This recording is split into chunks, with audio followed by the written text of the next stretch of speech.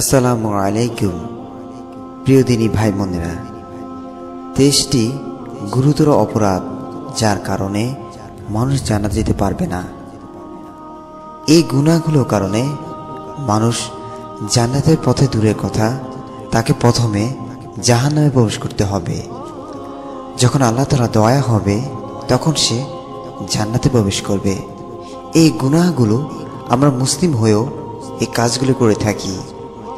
এখানের মধ্যে কয়েকটি রয়েছে মারাত্মক গুণা, কয়েকটি রয়েছে কবিরা গুণা, আবার কিছু কিছু রয়েছে বড় গুণা।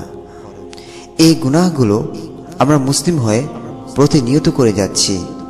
কেউ দাম দিচ্ছে না, পাত্তা দিচ্ছে না অথচ এই সকল গুনাহ কারণে আমরা যে জাহান নামের পথে হাঁটছি, তা আমরা কল্পনা করতে পারছি না। আর আল্লাহ তালা যদি তাদেরকে ক্ষমা না করে, অর্থাৎ বিনা হিসাবে জান্নাতে না দেন, তাহলে তাদের পরিণতি হবে জাহান্নাম। তবে আল্লাহ তালা নিজ দয়া ও ইনসাফের ভিত্তিতে এদের মধ্যে যাকে খুশি ক্ষমা করে দিবেন, যদি সে শিরক থেকে দূরে থাকে। কেননা, আল্লাহ তালা বলেন, নিঃসন্দেহে আল্লাহ তালা তাকে ক্ষমা করেন না। যে লোক তার সাথে শরিক করে, তিনি ক্ষমা করেন এর নিম্ন পর্যায়ে পাপ, যার জন্য তিনি ইচ্ছা করেন। সুবাহান আল্লাহ আরেকটি হাদিসে আল্লাহ রসুল সাল্লাম বলেন, যে ব্যক্তি এমন অবস্থায় মারা গেল যে জীবিত অবস্থায় সে ভালো করে জানত, আল্লাহ ছাড়া আর কোনো সত্য ইলায় নেই, অর্থাৎ সত্য কোনো মাবুত নেই, সে ব্যক্তি অবশ্যই অবশ্যই জান্নাতে প্রবেশ করবে। সুবাহান আল্লাহ আবার আরেকটি হাদিসে এসেছে, যার অন্তরে সরিষার দানা পরিমাণ পর্যন্ত ইমান থাকবে, সে ব্যক্তি জান্নাতে প্রবেশ করবে। আর যাদেরকে তিনি ক্ষমা করবেন না, তাদেরকে তিনি জাহানামে আগুনে নিক্ষেপ করবেন। পাপের শাস্তি ভোগ করার পর আল্লাহ তাদেরকে জান্নাতে প্রবেশ করাবেন অর্থাৎ যাদের অন্তরে সরিষার দানার পরিমাণ ইমান রয়েছে, তারা প্রথম অবস্থায় জান্নাতে যেতে পারবে না। প্রথমে জাহান্নামে যাবে, অতপর তাদের দেহ, তাদের শরীর, যে পাপগুলো রয়েছে, সেই পাপগুলো পবিত্র হয়ে যাবে। তখন সে আল্লাহ দয়ায় জান্নাতে প্রবেশ করবে। এখন কোন সব গুরুতর পাপ যে সকল কারণে মানুষ জাহান নামে প্রবেশ করবে, যেটা কিনা মুসলিম হয়েও। এর মধ্যে প্রথম হলো যে মারাত্মক গুণা ইমান না আনা। আল্লাহ রসুল সাল আলী আসাল্লাম বলেন ইমানদার ব্যতীত কেউ জান্নাতে প্রবেশ করতে পারবে না। নাউজুবিল্লা ইমানদার হতে হবে, অন্তরে ইমান থাকতে হবে। শিরিক, মূর্তি পূজা, ইহুদি, খ্রিস্টান, মুশরিক, এসব কোনো কিছুই অনুসরণ করা যাবে না। আরেকটি হাদিসে রয়েছে, তোমরা ইমান আনা পর্যন্ত জান্নাতে প্রবেশ করতে পারবে না। সুতরাং পরিষ্কার হয়ে গেল ইমান ছাড়া জান্নাতে প্রবেশ করতে পারবেন না। দুই নম্বর হলো, প্রতিবেশীকে কষ্ট দেওয়া। রসুল সাল্লাহ আলী আসসালাম বলেছে যার অনিষ্ট থেকে তার প্রতিবেশী নিরাপদ থাকে না, সে জানাতে প্রবেশ করতে পারবে না।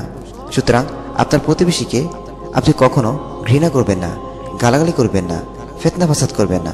তার সাথে বন্ধুত্বস্বরূপ আচরণ করবেন। তাকে দাওয়াত দিবেন, সাহায্য সহযোগিতা করবেন। তৃতীয়ত হলো অহংকার করা। আপনাকে আল্লাহ তালা এমন একটি জিনিস দান করেছেন যে জিনিসগুলো অন্য কাউকে দান করেনি। কিন্তু আপনি অহংকার করছেন, আপনি বড়াই করছেন, যেন অন্য কাউকে আল্লাহ তালা এই জিনিসগুলো দিবে না। এইভাবে অহংকার করা যাবে না। আপনাকে যা দিয়েছে, তা নিয়ে আপনি সুক্রিয়া জ্ঞাপন করুন। চতুর্থ হলো চগলখুরি ও পরনিন্দা করা। আল্লাহ রসদ সাল্লাহ আলাইসালাম বলেন চুগলখোর বা পরনিন্দাকারী জান্নাতে প্রবেশ করতে পারবে না। যারা একজনের কাছে ভালো সাজে, অন্যদের সামনে খারাপ সাজে, আবার অন্যদের সামনে ভালো সাজে, আবার অপরজনের সাথে খারাপ সাজে। এভাবে তারা একজন আরেকজনের সাথে প্যাচ লাগিয়ে দেয়। তাদের মাঝে শত্রুতা স্থাপন করে দেয়। নাহজুবিল্লা এসব কাজ মোটেই করা যাবে না। পাঁচ নম্বর হলো আত্মহত্যা করা। আল্লাহ রসুল সাল্লাম বলেন, যে ব্যক্তি নিজেকে পাহাড়ের ওপর থেকে নিক্ষেপ করে আত্মহত্যা করবে, সে জাহান নামে যাবে। সেখানে সর্বদা সে ওইভাবে নিজেকে নিক্ষেপ করতে থাকবে, যা হবে অনন্তকাল। যে ব্যক্তি বিষপান করে আত্মহত্যা করবে, তার অবস্থা একই হবে। যে ব্যক্তি কোনো ধারালো অস্ত্র দ্বারা আত্মহত্যা করবে, সে জাহান নামে একই অবস্থায় মৃত্যুবরণ করতে থাকবে। নাঙ্গুজুবিল্লা এভাবে যারাই আত্মহত্যা করুন না কেন, যে কোনো অবস্থায়, যে কোনো বস্তু ধারা আপনি সেভাবে আখিরাতে আত্মহত্যা করতে থাকবেন। ছয় নম্বর হলো আত্মীয়তা সম্পর্ক ছিন্ন করা। আল্লাহ রসুল সাল্লাম বলেন, আত্মীয়তা সম্পর্ক ছিন্নকারী জান্নাতে প্রবেশ করতে পারবে না। সুতরাং যারা আত্মীয়তা বন্ধন বিরুদ্ধ করছেন, বন্ধন ছিঁড়ে ফেলছেন, তাদের জন্য এটি ভয়ানক কথা। এখনই সময় আছে, ফিরে আসুন। আত্মীয়তার সাথে সুসম্পর্ক বজায় রাখুন। তাদের সাথে যদি আপনার ঝগড়া হয়ে থাকে, তাহলে আপনি নীরবে তাকে সাহায্য করে যান। আল্লাহর কাছে দোয়া করুন। সাত নম্বর হলো হারাম খাওয়া। আল্লাহ রসুল আলিয়াল্লাম বলেন, হারাম অর্থের মাধ্যমে যে শরীর মাংস বৃদ্ধি পেয়েছে, তা জানাতে প্রবেশ করতে পারবে না। অর্থাৎ যে ব্যক্তি হারাম অর্থ ও অবৈধ উপার্জনের ধারা দেহ গঠন করেছে জাহানামে আগুনেই তার প্রাপ্য। নাউজুবিল্লা হারাম যত ইনকাম রয়েছে, নেশার মাধ্যমে আপনি যে ইনকাম করেছেন, সুদের মাধ্যমে, ব্যবসা কারচুপির মাধ্যমে, খাদ্যে ভেজাল মিশিয়ে, যে কোনোভাবে আপনি হারাম উপার্জন করেছেন, ওই দেহ জান্নাতে প্রবেশ করতে পারবে না। আট নম্বর হলো, উপকার করে যে খোটা দেয়। আল্লাহ রসদ সাল্লাহ আলিয়াল্লাম বলেন, সেই ব্যক্তি জান্নাতে প্রবেশ করবে না যে উপকার করে খোটা দেয়। আমরা অনেকে আছি, মানুষকে সাহায্য করি, কিন্তু ওই ব্যক্তি যদি আপনাকে ধন্যবাদ না বলে আপনার প্রশংসা না করে বা আপনাকে ক্ষতিও করল, আমরা তার সাহায্যের কথা বলে দিই। আমরা এভাবে বলি, আমি না তোমাকে সাহায্য করেছি এরকমভাবে খোটা দেওয়া যাবে না। সে আপনার ক্ষতি করলেও আপনি তাকে কোনো রকমভাবে আপনার উপকারের কথা বলবেন না। নয় নম্বর হলো তাকদিরে ভাগ্য লিখন। এগুলো অস্বীকার করা। অর্থাৎ তকদিরে যা রেখেছেন, তাই আপনি পাবেন। কিন্তু আপনি এটা বিশ্বাস করলেন না। রসুল্লাহ সাল্লা সাল্লাম বলেন, পিতামাতার অবদ্ধ সন্তান মদ্যপায়ী এবং তকদিরের অস্বীকারী জান্নাতে প্রবেশ করতে পারবে না। নাউজুবিল্লা দশ নম্বর হলো জাদুতে বিশ্বাস করা। যারা জাদুতে বিশ্বাস করে, তারা জানাতে প্রবেশ করতে পারবে না। বিভিন্ন ধরনের ম্যাজিক রয়েছে। আমরা অনেকে আছে, শিখে থাকি। এ সকল ম্যাজিক সম্পূর্ণ হারাম, নিষিদ্ধ কাজ।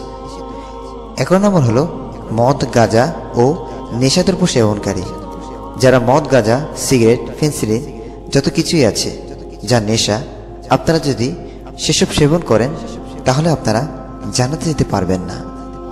বারো নম্বর হলো গণক। গণক ধারা রাশিফল টিয়া পাখির মাধ্যমে ভাগ্য নির্ণয়, আবার বিভিন্ন ধরনের রাশিফল জানা যায়, নেটের মাধ্যমে, পত্রিকার মাধ্যমে খবর কাগজের মাধ্যমে, মেসেজের মাধ্যমে, আবার বিভিন্ন মানুষ এ সকল বলে থাকে কার ভাগ্য কীরকম হবে? কোন বার কীরকম হয়ে থাকে? কোন মাসে আপনার কি ভাগ্য হবে? এ সকল কোনো কিছুই বিশ্বাস করা যাবে না। রসুল্লাহ সাল্লাম বলেন, পাঁচ শ্রেণির মানুষ জানাতে প্রবেশ করবে না। তারা হলো মদ্যপায়ী যাদের বৈধতা বিশ্বাসী আত্মীয়তা সম্পর্ক ছিন্নকারী, চকুরখোর এবং গণক। তেরো নম্বর হলো ঋণ পরিশোধ না করা। রসুল্লাহ সাল্লাহ আলাইসলামের নিকট কোনো ঋণগ্রস্ত মৃত্যুর লাশ আসলে তখন তিনি জানাজা করতেন না। তিনি প্রথমে জিজ্ঞাসা করতেন, এই লোকের ঋণ পরিশোধের ব্যবস্থা হয়েছে কিনা? যদি বলতেন হ্যাঁ তাহলে করাতেন আর যদি বলতেন, না, তাহলে তিনি বলতেন, তোমরা তার জানাজা পড়াও, আমি পড়াবো না। সুতরাং এই হাদিস থেকে বোঝা যায়, যদি আমাদের ঋণ থাকে, তাহলে আমরা শোধ করে নিব। আর যদি শোধ করতে না পারি, তাহলে পরিবারের মাধ্যমে তা শোধ করিয়ে দিব। অথবা আপনার ভাই মারা গিয়েছে, তার ঋণ ছিল। আপনি তার সম্পদ থেকে অথবা নিজের ব্যক্তিগতভাবে তাকে সৎকার করে দিবেন, সাহায্য করে দিবেন। চোদ্দ নম্বর হলো পুরুষ বেশদারি নারী, যারা পুরুষের মতো আচরণ করে। আবার নারী বেশদারি পুরুষ। এভাবে দুজন দুইজনকে যদি অনুসরণ করে, তাহলে তারা দুইজনই জাহান নামে প্রবেশ করবে। পনেরো নম্বর হলো দায়ুস। দায়ুস ব্যক্তি, যাদের স্ত্রী, বোন, মা রয়েছে। এ সকল লোককে তারা সহযোগিতা করে, পর্দা করতে নিষেধ করে ছেলে মেয়েদের সাথে প্রেম করতে উৎসাহ দেয়। এ সকল কাজ করতে তারা যদি কোনো বাধা না দেয়, তাহলে সে দায়ুস। আল্লাহ রসুল সাল্লাম বলেন, তিন শ্রেণির লোক জানাতে প্রবেশ করতে পারবে না। তারা হলো পিতামাতার অবতার সন্তান, দায়ুস এবং পুরুষ বেশদারি নারী। ষোলো নম্বর হলো বৃদ্ধ ব্যবিচারী।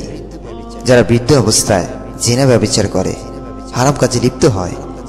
যেটা কিনা যৌবন বয়সের কথা, কিন্তু সেটা বৃদ্ধ বয়সে করলে এটা মারাত্মক কবিরা গুণা সতেরো নম্বর হলো মিথ্যাবাদী শাসক। পরিবারের ক্ষেত্রে হোক, সমাজের ক্ষেত্রে হোক জেলা ক্ষেত্রে হোক, রাষ্ট্রের ক্ষেত্রে হোক, যে কোনো অবস্থায় আপনি যদি শাসক হয়ে থাকেন, আপনি যদি মিথ্যাবাদী হয়ে থাকেন, জনগণের সাথে মিথ্যা প্রতিশ্রুতি দিয়ে থাকেন, তাহলে আপনার পরিণাম হবে জাহান্নাম। আঠারো নম্বর হলো অহংকারী। যাদের আল্লাহ তালা অনেক কিছু দান করেছেন, কিন্তু তার মনে অহংকার রয়েছে। সে ব্যক্তি জাহানামে প্রবেশ করবে। আল্লাহ রসদ সাল্লাহ সাল্লাম বলেন, কিয়ামতের দিন আল্লাহ তালা তিন শ্রেণির লোকদের সাথে কথা বলবেন না, তাদের গুনাহ ক্ষমা করবেন না এবং তাদের জন্য রয়েছে পীড়াদায়ক শাস্তি। তারা হলো বৃদ্ধ ব্যবিচারী মিথ্যাবাদী শাসক এবং অহংকারী দরিদ্র। এখানে অহংকারী দরিদ্র হলো যেমন আপনি রিক্সাওয়ালাকে কাছে বললেন যে ভাই, অমুক জায়গায় যেতে হবে। কিন্তু রিক্সাওয়ালা অহংকার করে বসল যে, না, আমি যেতে পারব না। রিক্সাওয়ালার সাধ্য রয়েছে, কিন্তু সে গেল না। এটাই তার বড় অপরাধ। যদিও সে গরিব ছিল, কিন্তু তার অহংকারের কারণে ওই লোকটি কষ্ট পেল। উনিশ নম্বর হলো, কঠোর প্রকৃতি ও কটুবাসী লোক এবং যে ব্যক্তি মানুষের কাছে এমন বিষয় নিয়ে গর্ব অহংকার প্রকাশ করে বেড়ায়, প্রকৃতপক্ষে যা তার নিকট নেই। আপনি মানুষের কাছে শুধু মিথ্যা কথা বলেন। ফেকভাবে মানুষের কাছে খবর ছড়ান। যেটা জিনিস আপনার কাছে নেই, সেই জিনিস আপনি আরও বাড়িয়ে বলেন যে আমার কাছে অমুক অমুক জিনিস রয়েছে। যা আপনার জানা নেই, আপনি বানি বানি বলেন, আমি অমুক জায়গায় অমুক জিনিস দেখেছি। এভাবে মিথ্যা কথা বলা নিজের কাছে কোনো কিছুই নেই। কিন্তু মানুষকে বলেন, আমার কাছে অনেক টাকা পয়সা আছে। এভাবে, যেভাবে যে কোনো উপায়ে আপনি বাণী বেনে কথা বললেই এটা আপনার জন্য মারাত্মক কবিরা গুণা রসুল্লাহ সাল্লাম বলেন, কঠোর প্রকৃতি ও কুটুভাষী লোক জান্নাতে প্রবেশ করবে না। এবং ওই লোকও নয় যে এমন সব বিষয়ে মানুষের নিকট গর্ব অহংকার প্রকাশ করে বেড়ায় প্রকৃতপক্ষে যা তার কাছে ছিল না। বিশ নম্বর হলো, মুসলিম সরকারের সাথে চুক্তিবদ্ধভাবে বসবাসকারী অমুসলিমকে হত্যা করা। রসুল্লাহ সাল্লাম বলেন, যে ব্যক্তি কোনো মুয়াহিদ তথা মুসলিমের সরকারের সাথে চুক্তিবদ্ধভাবে বসবাসকারী কোনো অমুসলিমকে হত্যা করবে, সে জানাতে ঘ্রাণও পাবে না। অথচ চল্লিশ বছরের দূর থেকে জানাতে সুঘ্রাণ পাওয়া যায়।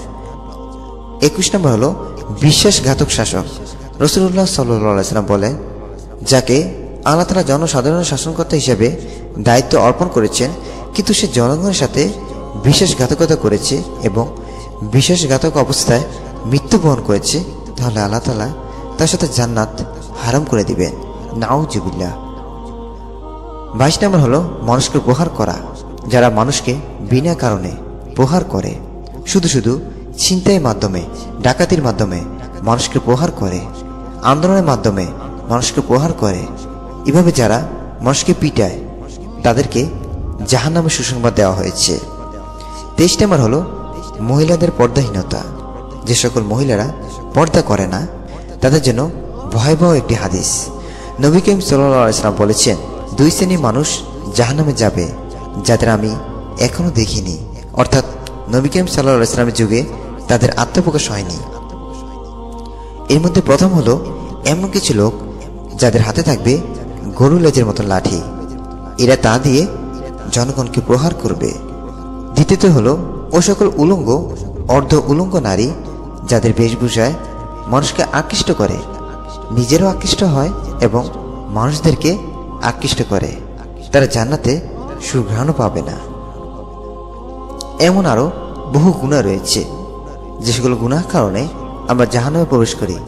কিন্তু আমি যে সকল পয়েন্ট বলেছি, এগুলো হলো খুবই গুরুত্বপূর্ণ। এসব গুণা মানুষ প্রতিনিয়ত করে যাচ্ছে।